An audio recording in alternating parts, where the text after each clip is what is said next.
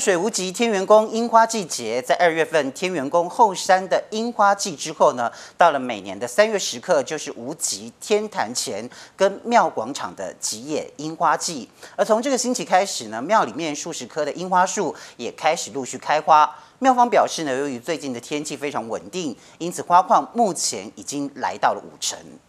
淡水无极天元宫的樱花季节，在二月份天元宫后山的樱花季之后，到了每年的三月时刻，就是无极天坛前与庙前广场的吉野樱花季。而从这个星期开始，庙里面的数十棵的樱花树也开始陆续开花。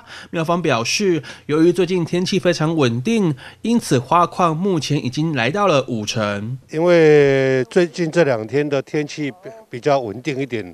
温度稍微高一点，所以樱花也开的比较快一点。啊，现在到今天为止，大概开了开了差不多有四到五成。哦，然后这几天如果气温随着还是这么高，应该会开得更快。哦，但可能花期就一到两个礼拜之中就一定会。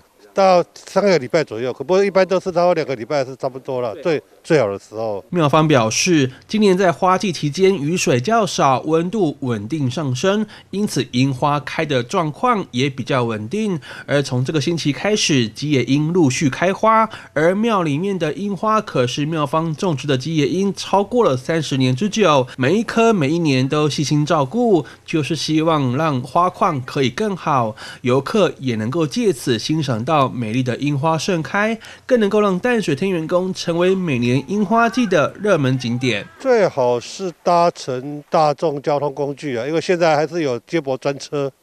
那如果说，呃，至于一般民、一般赏花民众要来看这个花的时候，也可以停，因为天元宫里面护地停车护地不是很大，所以最好你你要来的时候，就周围周边的这个一般民众的收那个住家的收费。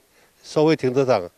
我可以去停那边。如果在这个这边停不下的时候，因为这边都有管制。妙方表示，由于每年三四月天元宫樱花季假日充满了赏花人潮，一天最少都会涌进上万人次的赏花游客。而天元宫后方的天坛道路狭小，庙前广场的停车空间也有限，也呼吁游客要来赏花的时候，也多利用大众运输工具，接驳车、公车等等，或者是开车也可以利用天元宫周边。居民所开设的停车场来临时停车，而庙方也估计，依照未来的天气，这个周末到未来十天内，樱花就会完全盛开。